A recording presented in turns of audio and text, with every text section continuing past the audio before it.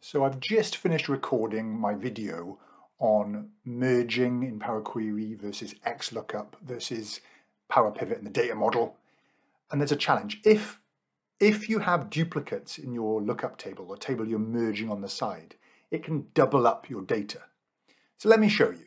So my screen looks like this. I've got my items and my lookup values, and I'm doing a merge in Power Query to spit out this table with name and cost, which is basically looked up from this table and tagged onto the side of this table.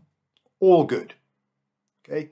However, if I add on another A, okay, with anything in here, this could be Apple or it could be, you know, aardvark or whatever for 10. Normally what would happen, as I showed in my last video, is when you right click and refresh this, you get double ups of all the A's. Now I want to warn the end user. So check this out. This is the challenge that you have to get working. Right click, refresh.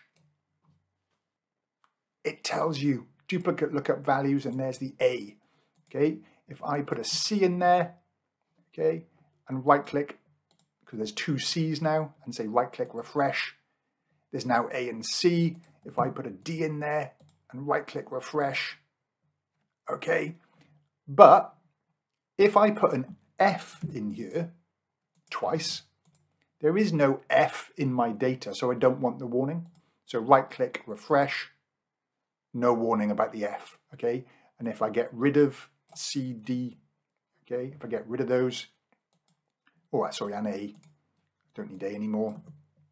Okay, right click, refresh, everything just works, okay? Even if there's a double a double up of F, okay, because F is not in my data. Right click refresh. This works, but as soon as I put a double up that exists, like if I put F in here now, okay, and put 20, uh, click in there, 20, and now I refresh it because there's double F, I get a warning and it tells me there's duplicates. All right, this is a tricky little one, okay? Have a go. I'll do my little solution at the end of September. Power Query Challenge. Go for it.